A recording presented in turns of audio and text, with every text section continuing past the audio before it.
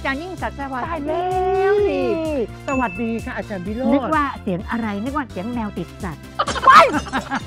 อาจารย์ลองชิมนิดหนึงเดี๋ยวฉันจะเติมรสชาติ สมมติเราทาลิปสติกไหมฮะอัพบางเนี่ยช้อนก็จะเปื้อนลิปสติก ถ้าเราจะทำให้ช้อนไม่เปื้อนเนี่ยต้องแบบกินลงไปเถอะได้ข่าวว่าอาจารย์ยิ่งศักดิ์ก็มีแฟนเป็นคนไทยนะไม่ใช่อ่ไม่มีเหรอข่าวลือเหรอ อาจารย์วิโรจน์ฉันก็ได้ข่าวว่าอาจารย์วิโรจน์มีแฟนเป็นฝรั่งเหรอ ไม่เอาฉันชอบกะปิ